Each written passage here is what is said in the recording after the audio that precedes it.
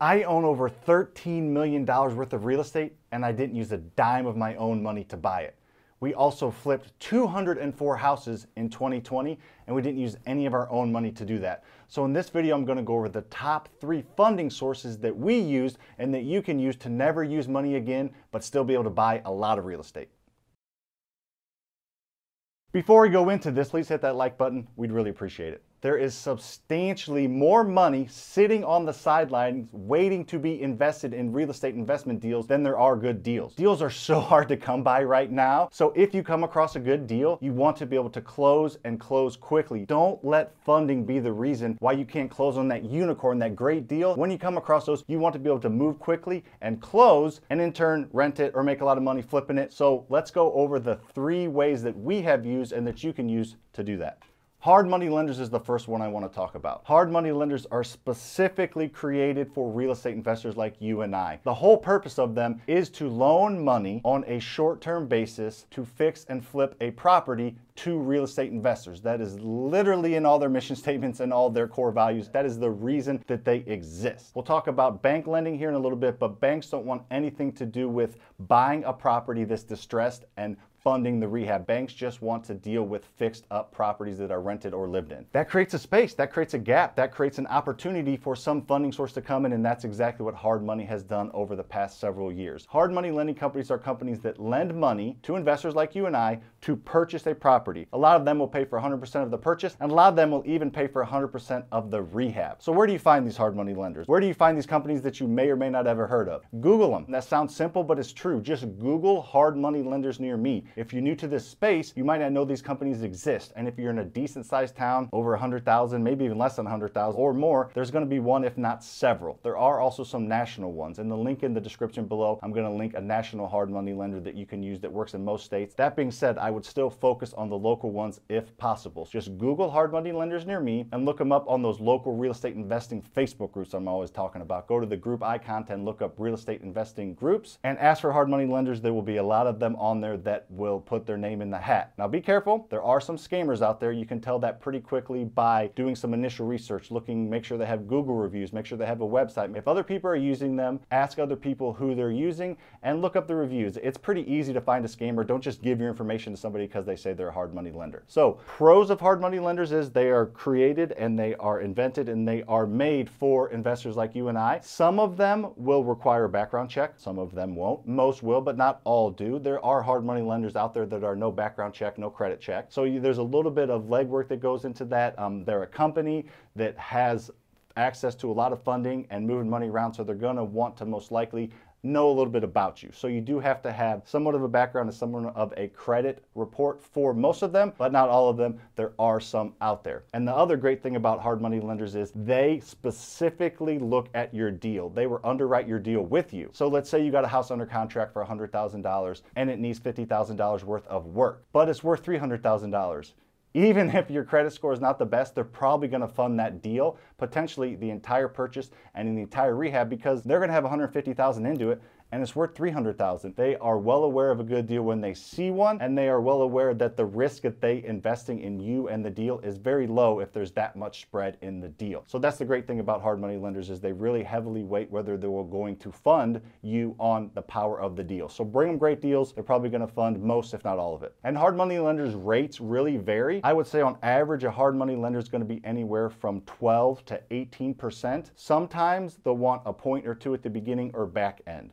So it's kind of expensive, but if you're buying a good property and you're in and out in three or four months, you're paying big interest on a very, very short time frame. So if you're getting it fixed up and flipping it, it's just a short time frame, you're paying that high interest. So just take that to account when you're analyzing your deal that you're gonna have some money costs in there. And if you're doing the BRRRR method, which we talk about all the time on here, you should hopefully be able to get in and out in two or three months quickly and kind of pay that higher interest on just a very short term basis. Number two, and my favorite, private money lenders. I get asked all the time where to find these private money lenders lenders because these are the real unicorns. These are great, great people to get to know. So more than likely, there is a private money lender in your network. You don't know about them and they don't know about you. So these private money lenders, these are usually people. Sometimes you have a relationship with them, sometimes you don't. They are very, very, very rarely your rich uncle. We kind of get that a lot. That That's kind of a false narrative. There's not that many people that have rich uncles. They might be your insurance agent or they might be your CPA. They might be your parents' boss's neighbor. They can just come from anywhere. And the reason I mentioned those three specific examples, because in the past three, four months, those are the three specific examples that have approached me about being a private money lender. They're not this person that has $10 million in the stock market and wants to give a little bit. They're usually just someone that has a little bit of extra money that knows you invest in real estate and is looking for a safe return. They've always wanted to invest in real estate, but they don't want to do the actual work. So how do they know you're investing in real estate? Because you're talking about it. You're posting it every couple weeks on your Facebook. You're posting on your Instagram. You're doing stories about what you're doing currently. They are going to most likely see you and approach you eventually. But as you're getting started, just put it out there that you're doing deals and you may be looking to partner on deals. You can't go out there and say, hey, I'm looking for money. You can't just make a post on that. That is actually illegal. But if you just say you're out there looking for partners or you're, you're doing deals and you're out there active, people like that. They will see your passion and they will approach you eventually. If it takes two months or two years to find a private money lender, it is well, well, well worth it. Don't get impatient. It can take time. And if you can't find a, a private lender right away, use a hard money lender or just wholesale. You don't need money to wholesale. You can just get the property under contract and sell it. The pros of hard money lenders is they are just usually super easy to work with. You usually don't have to go through all the underwriting or background checks that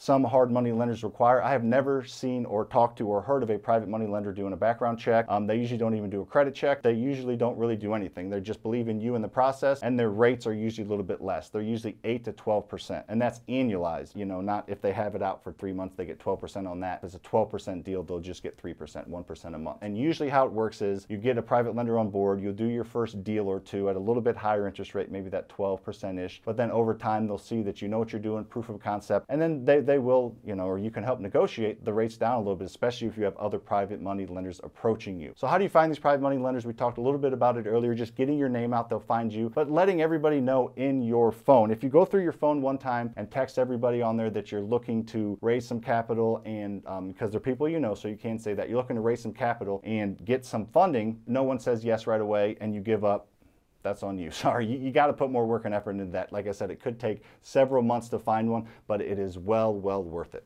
Last but not least is bank funding, okay? Banks are a great partner to have. Now, I have been told a bank is never your friend, but these banks that I work with, I kind of feel like they're my friends because they are incredible to work with. My business wouldn't be anywhere without great relationships with banks. If you're going to wholesale or fix and flip, I would definitely go option one and two, hard money and private money. You don't really need the bank. The bank is for the long-term financing. This is if you're going to own rental properties. Let's say you're putting 20% down, which not my favorite way to do it, but it's definitely an option. Or you're going to utilize the BRRRR method, buying, rehabbing, rent, refinance, and scale, you need to find these local small banks. These are not your Bank of America's, not your Commerce banks. Those big banks, those national banks, even the regional ones, want nothing to do with real estate investment rental properties, which is what type of deal you're going to bring these small banks. These big national banks, they take mortgages, they create mortgages, and they sell them on the secondary market to Fannie Mae and Freddie Mac. Not to get too technical, they don't keep them in-house. They have to go through all these federal guidelines to sell them on the secondary market. So the loan that you bring them has to meet all those guidelines, and investment loans usually just don't meet that. They make all their money on depository accounts and selling off the secondary market. These small local banks,